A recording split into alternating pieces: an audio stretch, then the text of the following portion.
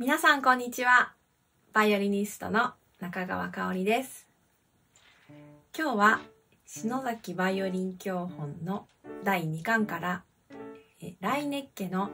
ピチカートという曲を、えー演奏してみたいと思います。えーピチカートについては、えー別の動画でですね、詳しく解説をしていますので、ぜひそちらも参考にしてみてください。えーこの曲の楽譜の上にですねピチカートの弾き方が説明してあるんですけれども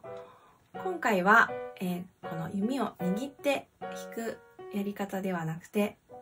普段こう弓を持っている状態から人差し指を伸ばして弾く方法で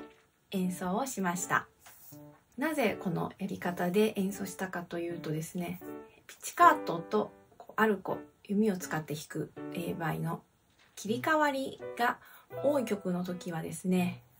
この指を伸ばして弾く方法がよく使われます。プロの方でもですね私たちもそうなんですけれども弓を持ち帰る時に、えーミスしてしまうこともあるんですね。この楽譜に書いてある弓を握ってこう弾く方法からこう持ち帰る時というのはですね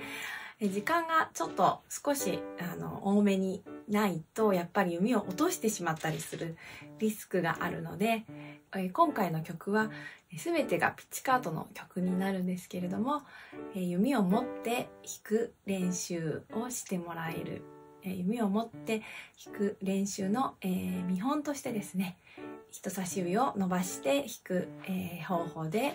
演奏してみました。それでは聴いてください。どうぞ。